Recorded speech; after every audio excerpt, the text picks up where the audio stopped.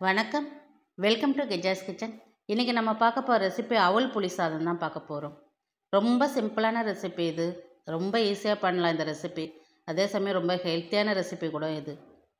இப்போ இந்த ரெசிபி எப்படி செய்யலான்னு பார்க்கலாம். வீடியோக்குள்ளே போகிறதுக்கு முன்னாடி கெஜாஸ் கிச்சனை சப்ஸ்கிரைப் பண்ணுங்கள் பெல் பட்டன் அழுத்துங்க. அப்போ தான் நான் போடுற வீடியோ உங்களுக்கு வரும். அப்படியே மறக்காமல் லைக் பண்ணுங்கள் வாங்க வீடியோக்குள்ளே போகலாம் இப்போ இந்த அவல் புளி சாதம் செய்யறதுக்கு நான் ஒரு நெல்லிக்காய் சைஸில் புளி எடுத்து வச்சுருக்கிறேன் நான். பாருங்கள் ஒரு பெரிய நெல்லிக்காய் சைஸில் புளி இருக்குது இப்போ இதை நம்ம ஊற வச்சுக்கலாம்.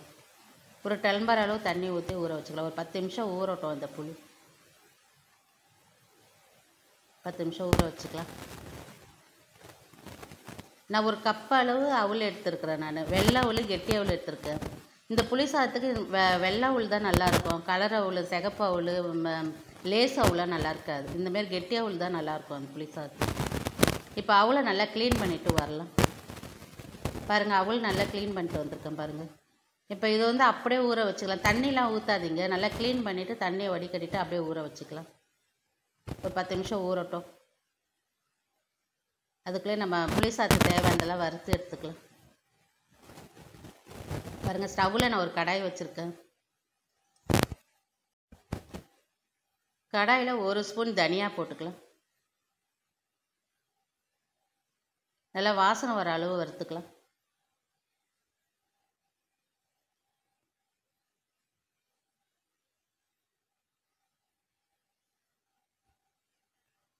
கொஞ்சம் நல்லா பொரிஞ்சு வரும்போது எடுத்துக்கலாம்.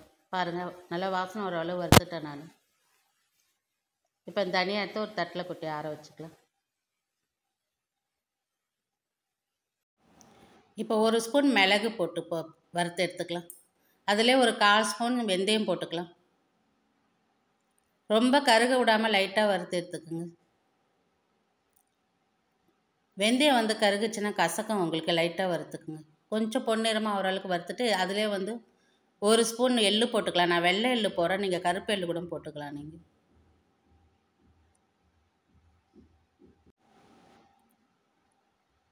எள்ளும் நல்லா பொரிஞ்சதும் எடுத்து அதே தட்டில் கொட்டி ஆற வச்சுக்கலாம். பாருங்கள் எள்ளு நல்லா பொரிஞ்சிருச்சு பாருங்கள் இப்போ கடாயில் நாலு ஸ்பூன் நல்லெண்ணெய் ஊற்றிக்கலாம் நான் வந்து செக்க எண்ணெய் ஊற்றுறேன் நல்லெண்ணெய் ஊற்றினா நல்லாயிருக்கும் புளிசாத்துக்கு நான் ஊற்றுற எண்ணெய் செக்க எண்ணெய் தான் ஊற்றுறேன் நான். இப்போ ரெண்டு காஞ்ச மிளகாய் போட்டு காரத்துக்கு நம்ம வறுத்து எடுத்துக்கலாம்.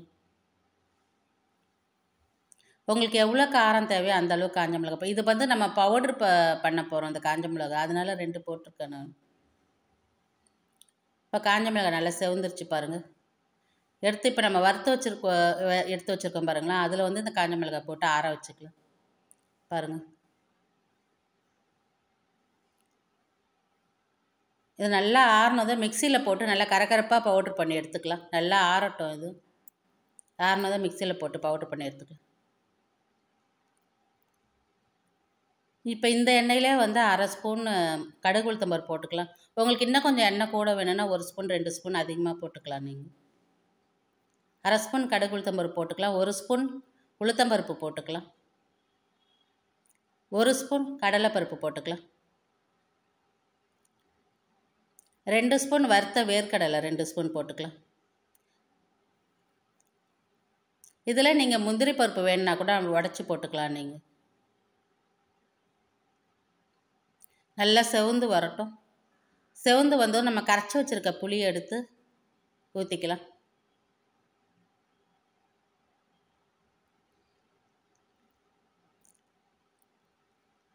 இப்போ நம்ம ஒரு கால் ஸ்பூன் மஞ்சள் தூள் போட்டுக்கலாம். கால் ஸ்பூன் பெருங்காயத்தூள் போட்டுக்கலாம். உப்பு தேவையான அளவு போட்டுக்கலாம். நான் ஒரு ஸ்பூன் போடுறோம் நீங்கள் உங்களுக்கு தேவையான உப்பு போட்டுக்கோங்க.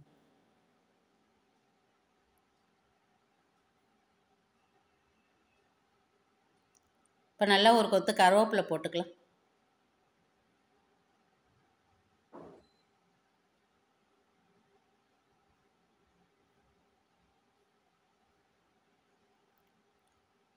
இப்போ ஒரே ஒரு காஞ்ச மிளகாய் கிள்ளி போட்டுக்கலாம்.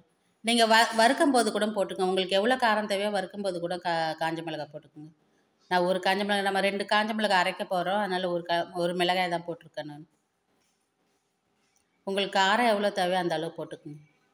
இப்போ இதெல்லாம் நான் வந்து ஒரு கப்பு அவளுக்கு இந்த அளவெல்லாம் போட்டிருக்கேன். நீங்கள் நான் ரெண்டு கப்பு அவளான்னா அதுக்கு தகுந்த மாதிரி இது இந்த இந்த பொருள்லாம் போட்டுக்கோங்க. நல்லா கொதி வந்துருச்சு பாருங்கள் இப்போ நம்ம பவுட்ரு பண்ணி வச்சுருக்கோம் பாருங்களேன் அந்த பொடி. அதை எடுத்து ஒரு ரெண்டு ஸ்பூன் போட்டுக்கலாம். நான் ஒரு ரெண்டு ஸ்பூன் போடுறேன் உங்களுக்கு காரம் எவ்வளோ தேவையோ அந்த அளவு போட்டுக்குங்க.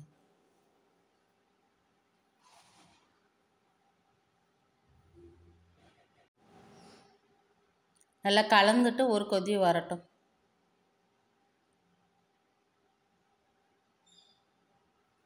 ஒரு கொதி வந்ததும் நம்ம இறக்கலாம் பாருங்கள் புளி சா புளிக்குழம்பு ரெடி ஆகிடுச்சு பாருங்கள்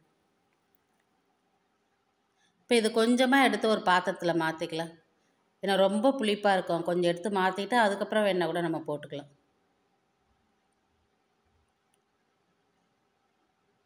இப்போ இந்த புளி தொக்குலேயே வந்து நம்ம ஊற வச்சுருக்க அவுளை போட்டு நல்லா கிளறிக்கலாம். பாருங்கள் அவுள் நல்லா ஊறி இருக்குது பாருங்கள் நல்லா வடித்த சாதம் மாதிரியே இருக்குது பாருங்கள்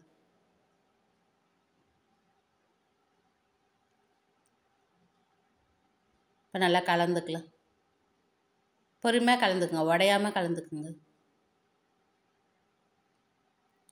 இப்போ இதில் நீங்கள் உப்பு வேணுன்னா உப்பு பார்த்து போட்டுக்கலாம் நீங்கள் எனக்கு கரெக்டாக இருந்தது அந்த உப்பு நான் போட்ட உப்பு கரெக்டாக இருந்தது. உங்களுக்கு இன்னும் புளிப்பு வேணும்னா அந்த தொக்கு எடுத்து வச்சோம் பாருங்களேன். இன்னும் கொஞ்சம் தொக்கு போட்டு நல்லா கிளறிக்கலாம் நீங்கள்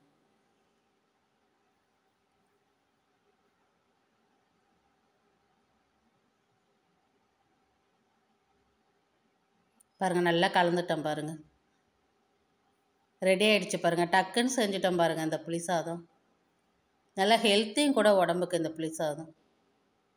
பாருங்கள் நல்லா உதிரி உதிரியாக வந்திருக்கு பாருங்கள் ரொம்ப டேஸ்ட்டாக இருக்கும். இந்த மாதிரி நீங்களும் செய்து பாருங்கள் இதே அளவோட நான் இந்த அளவில் வந்து ஐபட்டில் கொடுக்குறேன் பாருங்கள் ரொம்ப டேஸ்ட்டாக இருக்கும். இதனால் ஒரு நாள் கிழமையில் கூட செய்யலாம். நம்ம வெள்ளிக்கிழமையில் ஒரு பூஜை நாளில் கூட செஞ்சு நம்ம சாமிக்கு வைக்கலாம். இந்த புளிசாதம் செஞ்சு. ரொம்ப டேஸ்ட்டாக இருக்கும். பசங்களுக்கும் கொடுத்தீங்கன்னா நல்லா ஹெல்த்தியாக சாப் ஹெல்த்தியாக இருக்கும் பசங்களுக்கு. மதியானம் லஞ்சு பாக்ஸுக்கும் இந்த புளிசாதம் கொடுத்து அனுப்பலாம் நீங்கள் இந்த மாதிரி நீங்களும் செய்து பாருங்கள் இந்த வீடியோ பிடிச்சிருந்தா லைக் பண்ணுங்கள் ஷேர் பண்ணுங்கள் கமெண்ட் பண்ணுங்கள் சப்ஸ்கிரைப் பண்ணுங்கள் வணக்கம்.